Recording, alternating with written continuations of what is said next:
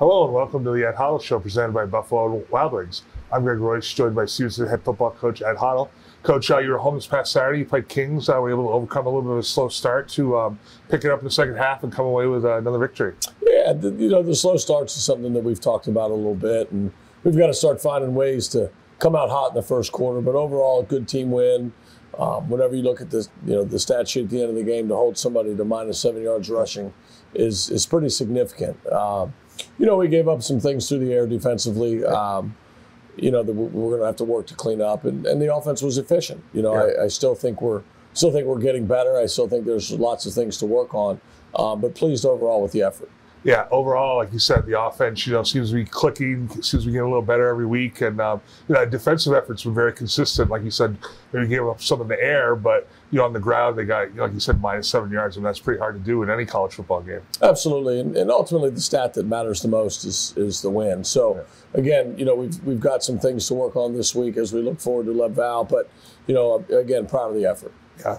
As slow as you know, slow as you say, maybe the first quarter's been. The third quarter seems to be where you guys really shine. I think the touchdown you gave up was the second you gave up in the third quarter all year, and uh, you know, again, come out score 17 points in the third quarter and kind of you know build that lead and kind of start to pull away.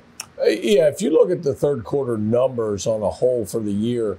Um, I, I, think it's reflective of our staff being able to get in and get things adjusted, um, and also our guys being able to understand and execute the adjustments coming out of the locker room at halftime. And I think it's a credit to to both groups, you know, the ability to get in there. And we talk about communication and the need to have communication and execution coming out of the locker room.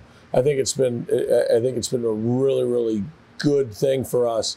Uh, but again, you know, we want to come out. We want to play four consistent quarters of football. Yeah, absolutely. And uh, you know, again, talk about that offense. It just seems like again you're not relying on maybe just one or two guys. There's you know consistency in the passing game. You know, there's couple guys in the running game stepping up. So you're not the, the defense can't necessarily key in on just one or two guys and try to shut them down. Yeah, I think Saturday was our third back to go over 100 yards rushing in a game this yeah. year. So that's um, you know that's a really good problem to have. Obviously, you know we've focused over the course of the last couple years on building our depth um, and and seeing having three guys go over 100 yards in a season, I think yeah. is, is, is good for us. And you know, they're all underclassmen, yeah, um, which is really really exciting. And, and you're seeing the development of the relationship between Ryan and, and, the receiving corps, and those guys just seem to get better and better every Saturday. Yeah.